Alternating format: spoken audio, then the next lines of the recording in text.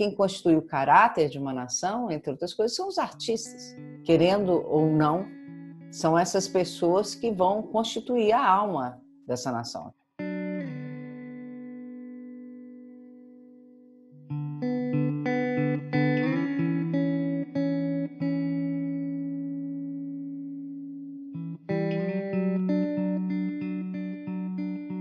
Os artistas já estavam negligenciados, a gente perdeu inclusive é, o Ministério da Cultura, né? Tivemos alguns secretários da Cultura, uma coisa absolutamente volátil, entra e sai, entra e sai, para dizer que a cultura é era algo relegado, que nós éramos quase usurpadores do tesouro público.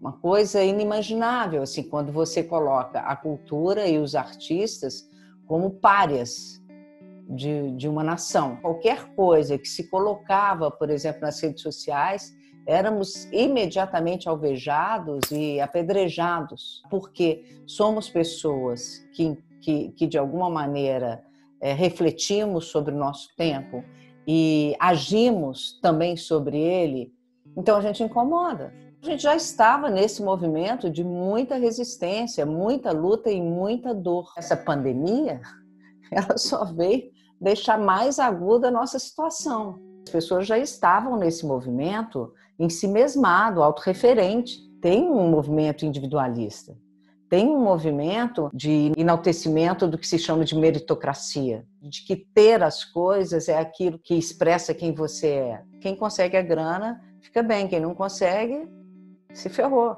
Uma elite ignorante assim, sabe, que não quer se relacionar profundamente, com consciência e com, é, e com, e com cuidado né, com o outro, que não tem nenhum tipo de consciência social, absolutamente autorreferente, narcísica e assassina.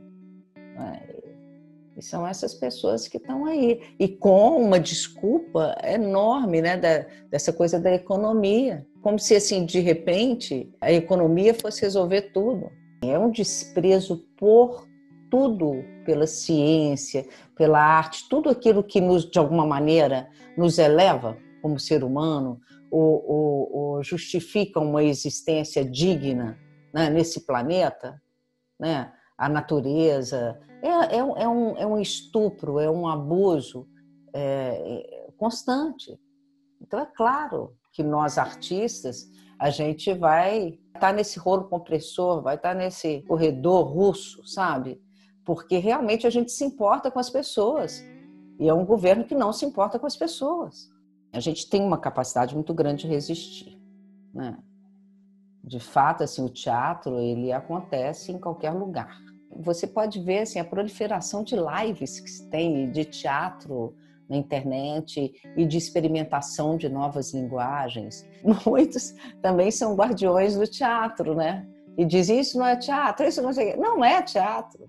Então, se não é teatro, está na hora da gente revirar isso de cabeça para baixo e saber como que nós de teatro nos relacionamos com, com esse tipo de mediação.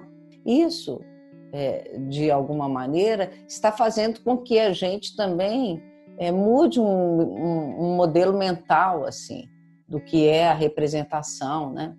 E de como que a gente pode então transformar o que era presença física numa presença virtual. É só compreender que essa relação minha com você aqui, ela é possível, ela é de presentificação também. É um lugar em que a sua presença ela pode ser muito mais proliferada.